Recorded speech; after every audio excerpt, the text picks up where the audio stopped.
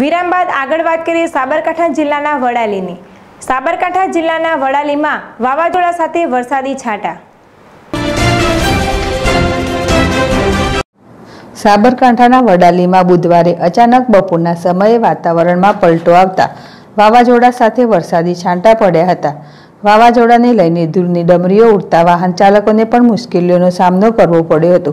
થોડા દિવસમાં વિરામ બાદ ફરી વરસાદી છાંટા પડતા વાતાવરણમાં ઠંડક પ્રસરી ગઈ હતી અને લોકોને ગરમીમાંથી રાહત મળી હતી.